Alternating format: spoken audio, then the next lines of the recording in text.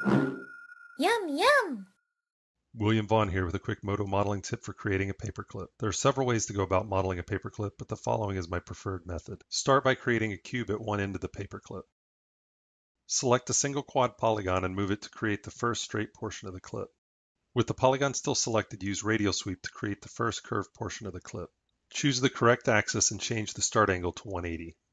Set the count to 8 to decrease the number of segments generated by the tool and turn off cap end. Extrude the selected polygon the length of the next straightaway. Repeat these steps to complete the main shape of the clip.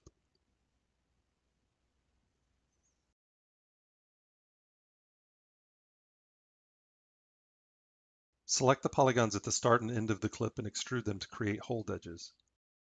Use Shift-Tab to convert the mesh into Catmull-Clark sub-Ds. Oh, look at the time.